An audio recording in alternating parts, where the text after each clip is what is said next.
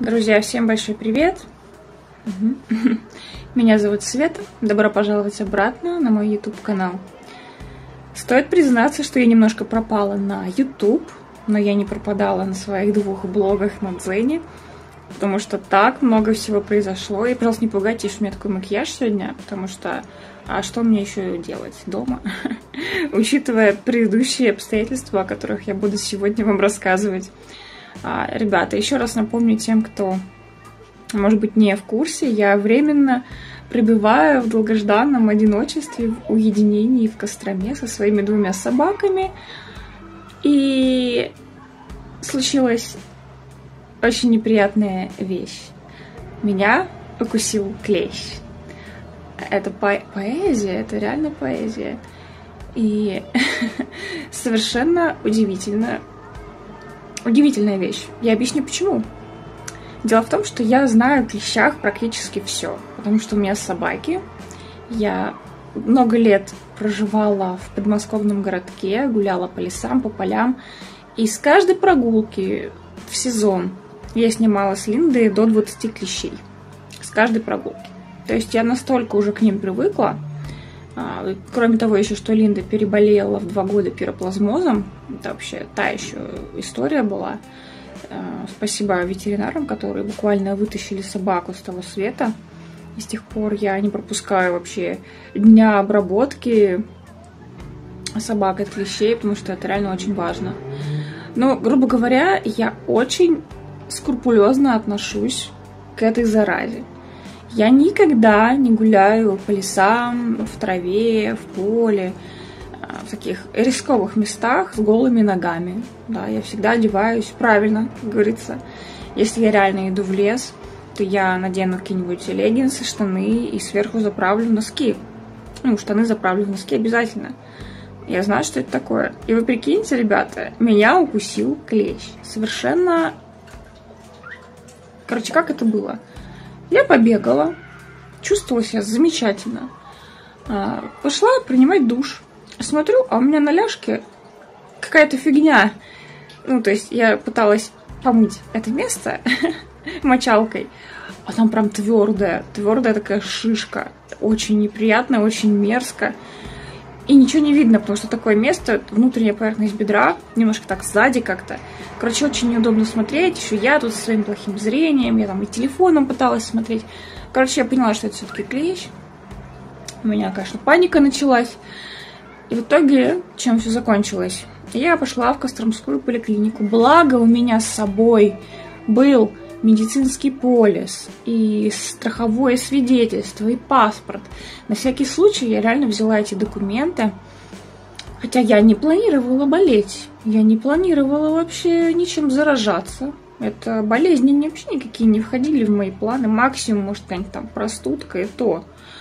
А, ну, вы понимаете, да. А вообще здоровье это такая штука, которая, ну, знаете, зарекаться на здоровье нельзя, как выяснилось. Ну, опустим, опустим все вот эти вот бюрократические, совершенно удушливые, ужасные реалии российского здравоохранения. А, жесть. Я никому не советую туда попадать. И не в обиду врачам. Врачи замечательные, но вся вот эта вот прогнившая система, а, которая даже самого вдохновенного специалиста, горящего своим медицинским делом, она задушит в нем его прекрасные благие порывы. Вот, это все, что, наверное, об этом нужно знать. А, в итоге, что выяснилось? А, клеща моего на экспертизу так и не удалось отнести, потому что, как мне сказала хирург, его нужно переносить целым, а она мне его изрядно там, в общем, потрепала этого клеща, плюс мне еще накладывали швы, ну, там что-то совсем все было в этом плане плохо. И вы знаете, вот реально самое болезненное было, когда мне вытаскивали клеща, как это ни странно. А когда мне накладывали швы, ну, как-то, знаете, чем-то очень схоже напоминало татуировку, когда бьют, учитывая еще, насколько он в чувствительное место мне впился. Ну, в общем, потом я пошла к терапевту, терапевт сказала, что, чтобы подстраховаться, нужно пропить курс антибиотиков. Друзья, а, ну, еще, конечно же, следить за состоянием раны, да, потому что тот же клещевой энцефалит, боррелиоз, а, ну, как он проявляется, самое-самое первое, это место, куда укусил клещ, но, ну, скажем так, очень сильно краснеет а, в форме такого правильного круга. Если вы погуглите, вы найдете. Вы ни с чем это не спутаете. Плюс первую неделю температура может повышаться до 38 градусов и выше. А, ну, что случилось? Я купила эти антибиотики, мне прописали а, противо... Господи, антигистаминные эти. И я начала принимать, и в первый же день после приема этих таблеток у меня бахнула температура 37. Ну, плюс-минус у меня температура держится 37, 37,5 уже почти неделю. В четверг будет уже завтра, да, завтра четверг. Завтра будет как неделю, я гуляю, живу с температурой. Ни с чем не передаваемые ощущения. И самое интересное, у меня просто возникло такое чувство, что температура является эм, реакцией на вот эти вот лекарства. Какие конкретно, я не знаю пока. Потому что а, вот утром я встаю, у меня все хорошо. Я даже на пробежке здесь ходила. А, как только я выпиваю таблетку, вот сразу через полчаса у меня поднимается температура. К вечеру температура спадает. Есть сейчас я сижу, снимаю, мне кажется, у меня нет температуры, потому что таблетки я пью где-то часов 9-10 утра. И, и я просто... Вы не представляете, что такое жить когда у тебя постоянная температура 37, ребят. И это, это невозможно. Ну, помимо того, что это очень неприятная температура, у тебя ломит все тело. Ну так, не очень терпимо, конечно, но мало, мало приятного, такая вообще слабость, голова такая, знаете, ватная, в глазах песок, какая-то сонливость. А, я вообще человек не аллергик совершенно, но врач решила перестраховаться и прописала мне еще вот антиаллергенные эти, ну, господи, как лоротадин. Мне осталось пить еще 4 дня эти таблетки. И вы знаете, я уверена на 99,9%, что ну, клещевого энцефалита у меня как бы нет. Потому что место укуса, оно у меня практически зажило. Краснота вся уже давно сошла, еще дня три назад. То есть, в целом, вот да, только температура в районе 37 у меня держится после приема этих таблеток. Как это тяжело, ребята, как тяжело жить одной с двумя собаками в чужом городе с двумя собаками, да, то есть в таком состоянии мне нужно гулять с ними двумя, заниматься с ними. А, плюс они еще кушают, мне нужно ходить им за едой. И себе ходить за едой, ребята. А когда ты такое обессиленное существо, ты с трудом вот по квартире двигаешься, тебе нужно еще гулять. Ребята, если вы, если вы реально одинокий человек, и хотите собаку, подумайте тысячу раз. А, я уже написала на эту тему статью в блоге на Дзен. Вот. Почитайте, пожалуйста, зайдите. Мне очень важно ваше мнение, потому что раньше я всегда придерживалась мнения, что наоборот, ну, если человек одинокий, там, пенсионеры, например, ну, просто молодые люди, ну, много всяких интровертов, типа меня. Вон Люська пришел, да. Ну иди сюда. Что ты? Ой, ребятки, кто тут такой пришел? Ой, кто тут такой? Ой, ой, ой, ты, ребенок. Ох, ребенок пришел, сладкий такой. Ну, в общем, ну, вы понимаете, да? Думаю, ну, каждый человек заслуживает собаку. Особенно такие одиночки, наоборот, им по кайфу будет постоянно взаимодействовать с песиком, гулять с ним, они не будут чувствовать себя... Они будут чувствовать себя нужными. Блин, а сейчас я думаю, это же так тяжело, это реально такая ответственность, потому что вот единственное, что заставляет меня выходить из дома сейчас, это мои собаки. Ну и там, ну хотя даже если бы я была без собак, я бы э, и в магазин, может, не ходила бы, доедала тут свои крупы, какие-нибудь гречку. Поэтому трудно, трудно, конечно. Поэтому я немножко пропала с Ютуба, потому что вы бы видели мое состояние вот внешне. Это я сейчас еще с вами накрасилась, тут немножко прическу себе наделала. Потому что мне сидеть дома скучно.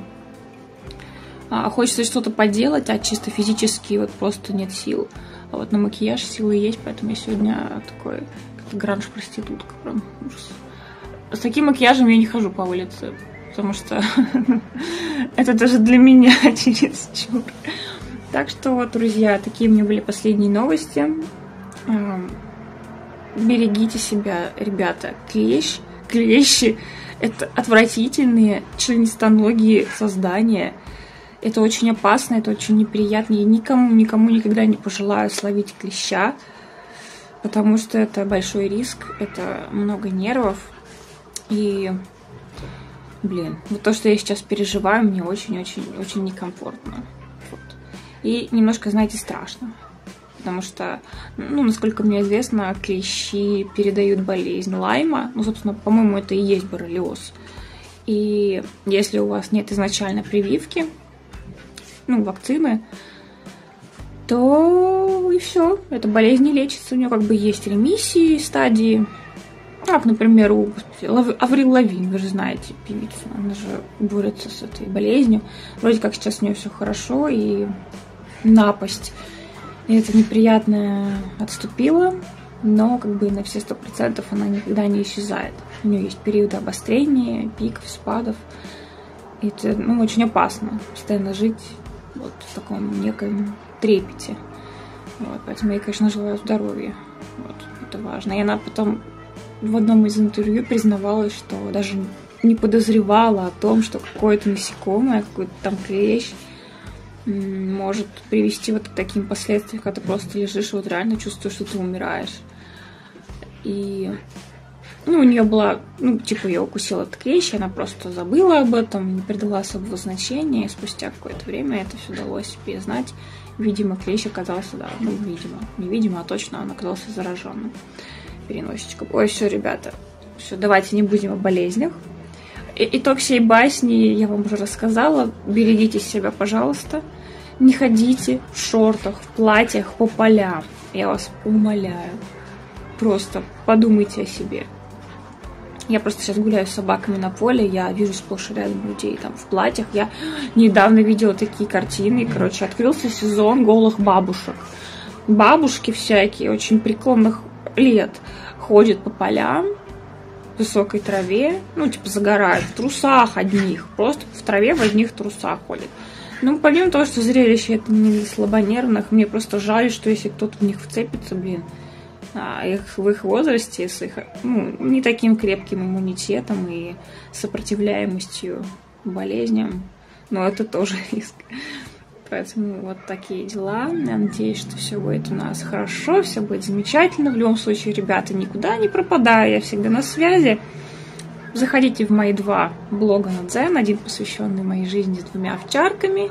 И второй литературно-творческий, такой писательско-гранжовый, непонятный блог, больше по личному такому а, словотрепу. Вот. Все, на этом я завершаю свой ролик. Будьте здоровы, наслаждайтесь этим летом осознанно, соблюдайте правила безопасности и уже очень скоро увидимся, я надеюсь, в следующих роликах. Все, пока-пока.